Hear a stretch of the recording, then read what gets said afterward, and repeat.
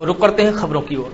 भिंड के विधायक संजीव सिंह कुशवाहा ने एक करोड़ बयालीस लाख से श्यामपुरा गाँव की बनने वाली सड़क का भूमि पूजन किया है और तत्काल ही ठेकेदारों को निर्देश दिए हैं। उन्होंने कहा कि तत्काल प्रभाव से काम को चालू कर दिया जाना चाहिए। इस दौरान विधायक संजीव सिंह ने कहा कि आज़ादी के समय से लेकर आज तक कई गाँवों में सड़कें नहीं थी, लेकिन बीजेपी की सरकार जब से बनी है, तब से तमाम विकास के कार्य हो रहे हैं।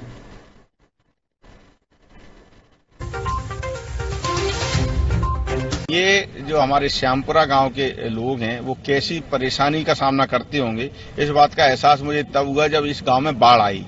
जब मैं बाढ़ के जब आई, उस बीच में मैं लोगों के पास गया, गाँव में गया और ट्रैक्टर खुद चलाकर ले गया, ट्रैक्टर में बैठ कर गया और लेकर लेकर गया।